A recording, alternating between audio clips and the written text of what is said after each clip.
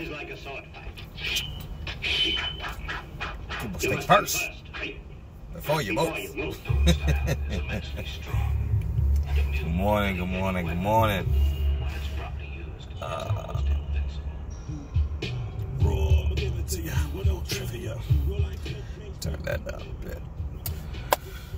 Good morning, good morning, good morning. I hope everybody's. I am tired.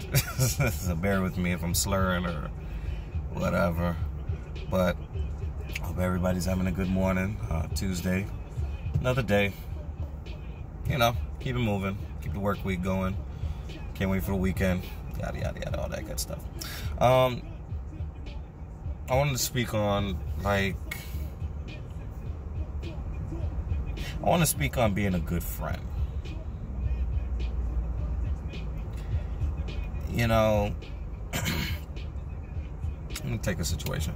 So, you know, and forgive me for the person, but forgive me for talking about this. I mean, it's not nothing serious or anything like that, but they'll know it's them as soon as we speak. So, you know, I, I got a friend that, uh, you know, one morning, one morning they called and they were just like, uh, I don't want to go to work. Uh, I'm not feeling too well. Just, you know, constantly constantly putting off the fact that they putting on the fact that they don't want to go to work. They're just not feeling it. You know how you you know how it is. Some mornings you just wake up and you're just not feeling it. I completely understand that. And I know anybody that watches this video will understand that. There are just times where you just are not feeling it. And you just want to lay in bed all day. You just want to just chill and not adult and just ah blah, you know. And I'm listening to my friend as they're complaining about this, complaining about not wanting to go to work, complaining about ah, you know, just they don't feel good. You know, don't get me wrong. They they also said they didn't feel good. You know that their head was slightly hurting and and um, you know they just they just didn't feel well. You know, and their throat was hurting a bit, their nose was running a bit.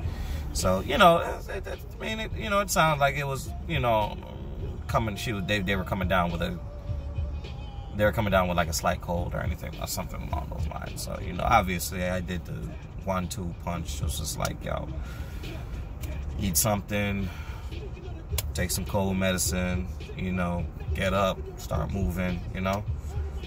You know, you know when you're laying in bed and you're not moving and stuff like that, you know that that kind of like further like weighs you down and it makes you just not want to do anything. At least that's with me. And I told the person to, you know, I let them talk, I let them talk, I let them talk. And I mean, when I say I let them talk, I mean, it was 10 minutes of like, oh, I just don't want to go, just not feeling it, just not feeling it, I just don't want to go. I let them do that. And then at the end of it, I was like, I hate to be this guy, but you know you gotta go, right? you know you gotta get up and go to work, right? You know you gotta adult today. You have to. You have to. Here comes Pierre to interrupt. Oh, in my video though. and boys is on the job this morning. You don't know? Job, job. Job, job. Fogarty boys. Anyway, so I had to be that friend to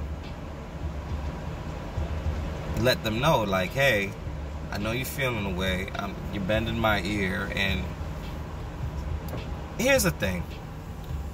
Sometimes people will come to you. Sometimes people will come to you to look for the go ahead to do something not necessarily productive, sometimes quite destructive. I've had people come and talk to me. And listening to their, you know, their stance on something, listening to the conversation and how it's going, you know, you can tell that they're like, yo, Breeze, yo, Mike, man, this person, da da da da da da da da da da da, and I could do A, B, and C to them. You know what I'm saying? And I'm just like ready to do that. And huh, I just, ooh, they just made me so mad. And you're listening and, and you know, and it's like, there have been so many times that I honestly and truly, I truly do believe that my input derailed certain situations from escalating. I truly believe that. Certain things I've heard over the years, certain things I've dealt with, certain experiences that I've had with other individuals, I truly feel as though what I said, how I expressed and conveyed the situation, allowed for it to go down another path, a less destructive path.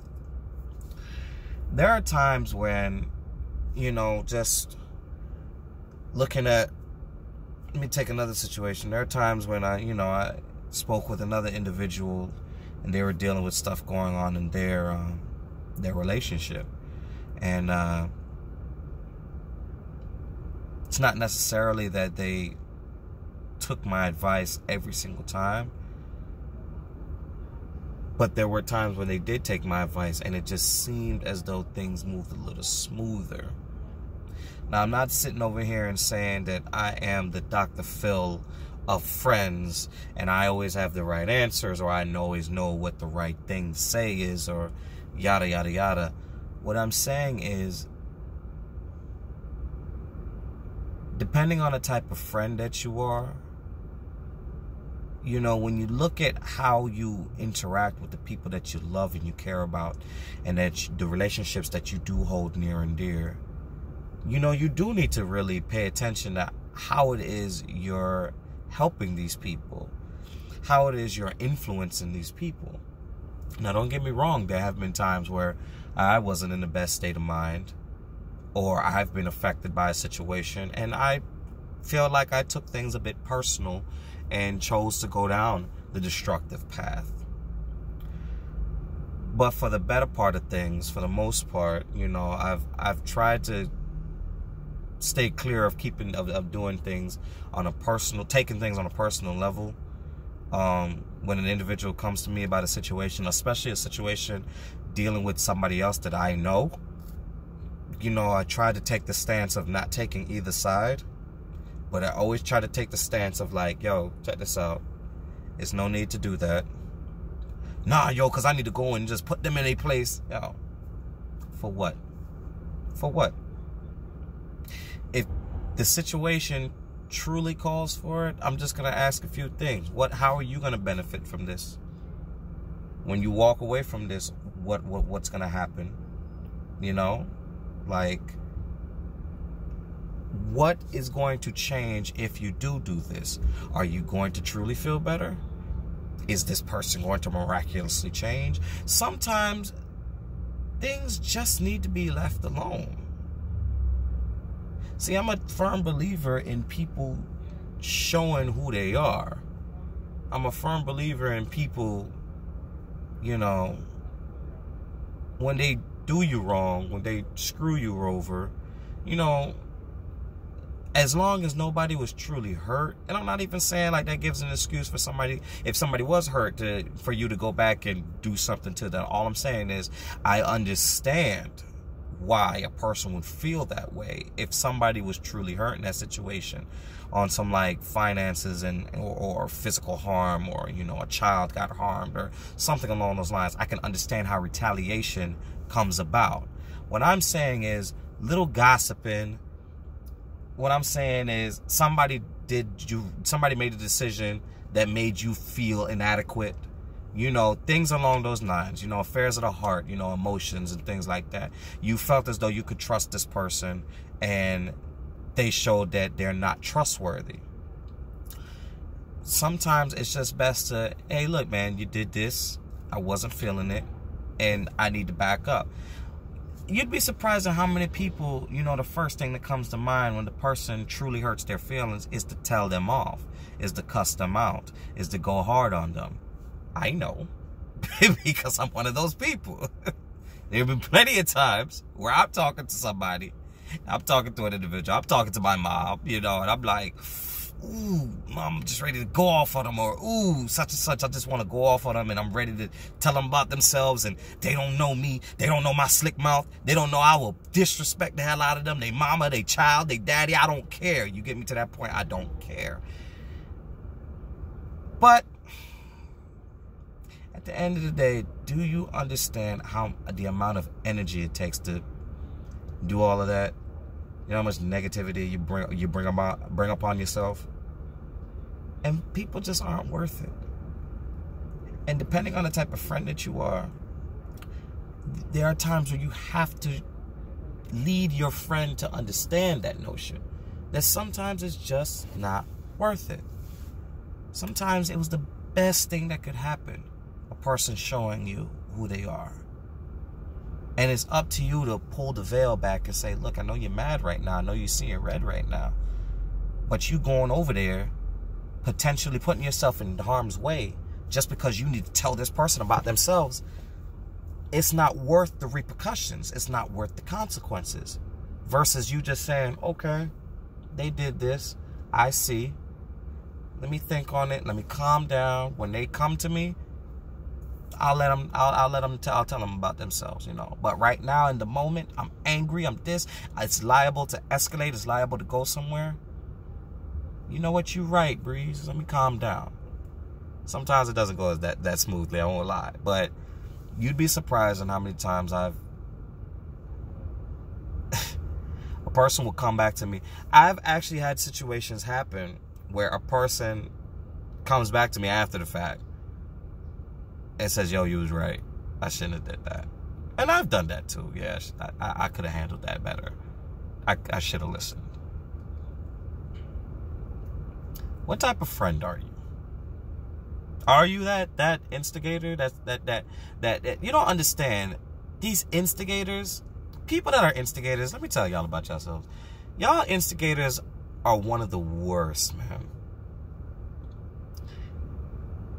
You are willing to see your friend, somebody, put themselves in harm's way, potentially destroying a bridge that they may need later or whatever, or, you know, potentially destroying a career, potentially destroying potentially putting themselves in a situation that they won't because i mean even if this is a person that doesn't have any uh, hold on any position or anything like that. This is strictly a social friend of yours.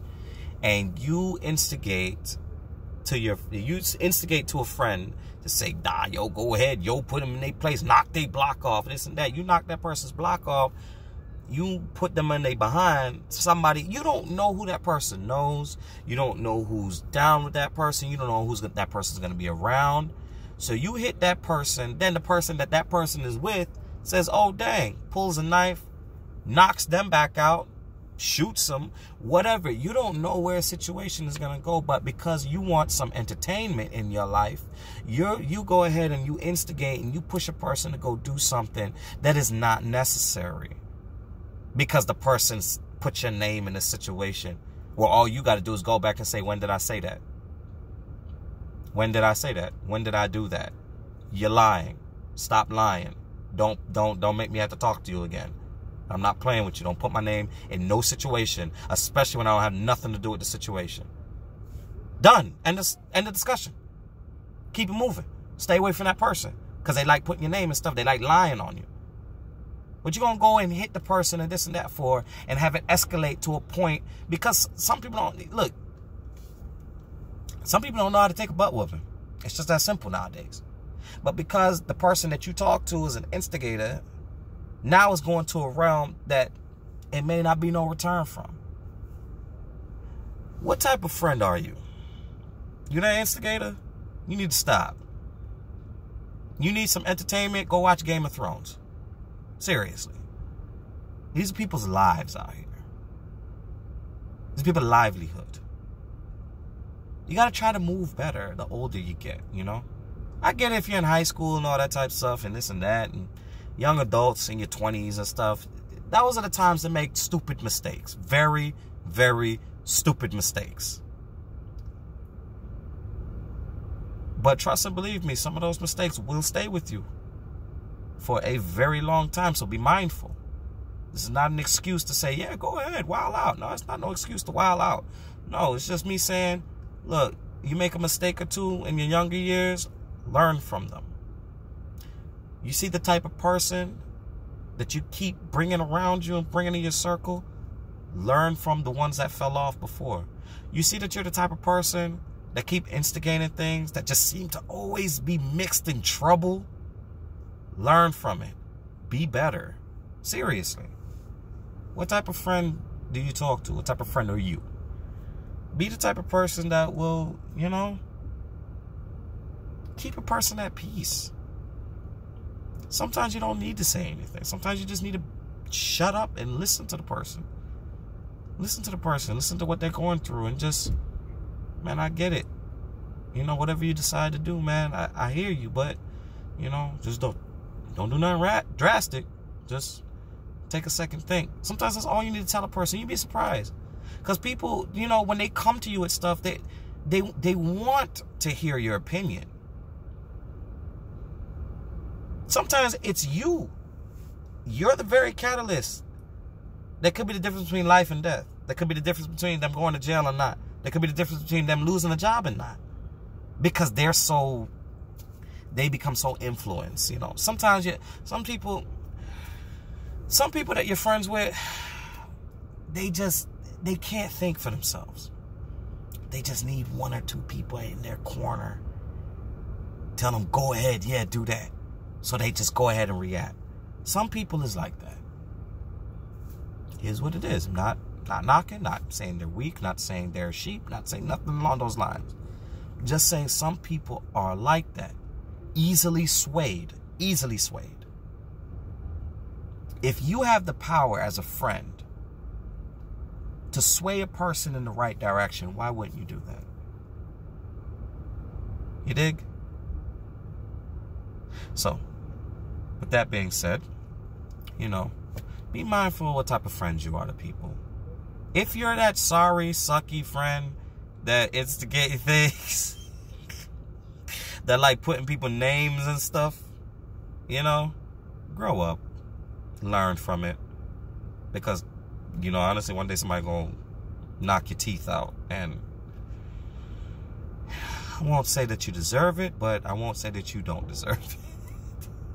No, but seriously though, um, be mindful of the type of friend that you are to people, you know, and you have to really know what type of influence you have, you know, in certain people's lives.